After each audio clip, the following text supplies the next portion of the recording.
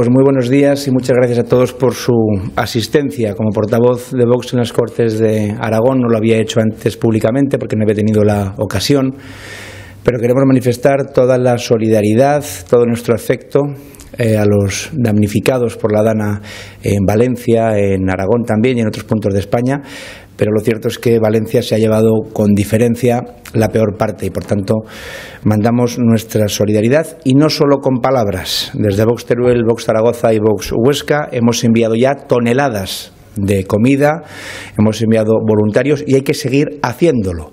Esto no ha de caer en el olvido. Quedan muchísimos meses para reconstruir Valencia, para ayudar uno por uno a todas las personas y, por tanto, esto es solo el principio. Hay que seguir ayudándoles sin parar. Meses, meses para reconstruir Valencia.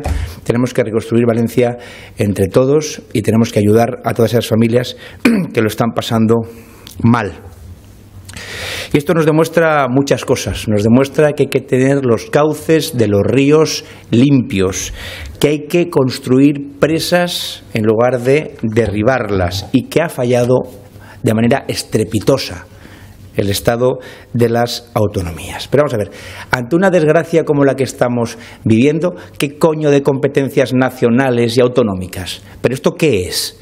¿Cómo puede ser que cuando esté muriendo gente estemos hablando de cómo se lanzan eh, la pelota en el tejado tanto las competencias nacionales y las autonómicas? ¿Para esto sirve el Estado de las autonomías? No tenemos que estar todos en el mismo barco. Es, como decía aquella presentadora, y lo repito, una puta vergüenza lo que está ocurriendo.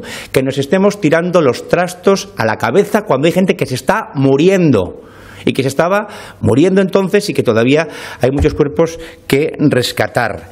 Y nosotros, vamos a decir, nosotros no, vamos, los partidos de siempre peleándose por las competencias. Menuda vergüenza. Y como dice el psicópata de la Moncloa, si necesita ayuda, que la pidan. Un tío que llega riéndose a Paiporta y tiene que salir huyendo como una auténtica rata seguir perteneciendo al Partido Socialista después de lo que ha pasado y bajo el paraguas de Sánchez representa un conflicto moral gravísimo.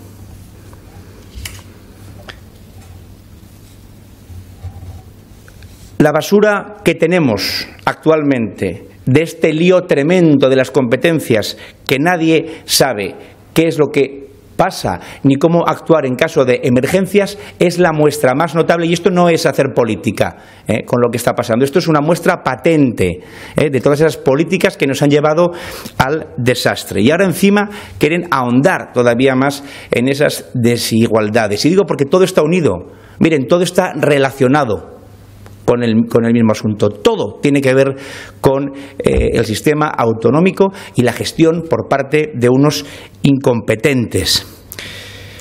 Miren, ahora se está hablando, y aquí tengo al diputado don Fermín Cibia, que está en, las ponencias que tienen que ver con, el sistema de financiación, y lo que le quería decir es que todavía se quiere ahondar más en las diferencias entre comunidades autónomas por si no teníamos poco.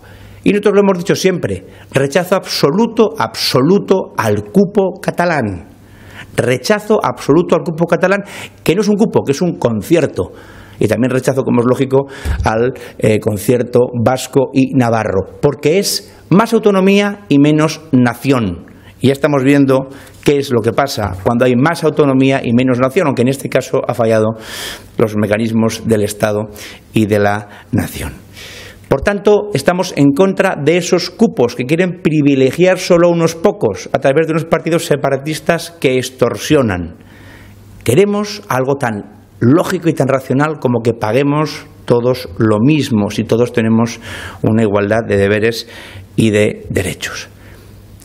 Y antes de dar la palabra al señor Civiac para que hable sobre el sistema de financiación sobre las ponencias del sistema de financiación y cuál es la postura de Vox sobre este tema, quiero también felicitar en último lugar al presidente Trump, que llevará el sentido común de nuevo a toda la nación, controlará la inmigración ilegal, estoy seguro de que fortalecerá la economía, pacificará relaciones como ya hizo en el pasado, no como el bombardero Partido Demócrata, que es el partido de las bombas y de las guerras Hoy he escuchado en tertulias eh, que tenemos en Aragón eh, cosas tremendas. ¿no? He escuchado a mm, diputados del PSOE que decían que es que igual en Estados Unidos lo que pasaba es que no había una mm, presidenta, o sea, no había, digamos, un caldo de cultivo como para que hubiera una presidenta de Estados Unidos porque Estados Unidos era una sociedad machista y el director de la tertulia calificándolo de personaje. Hombre, ¿cómo es posible que haya ganado un personaje machista? ¿Cómo es posible que los millones de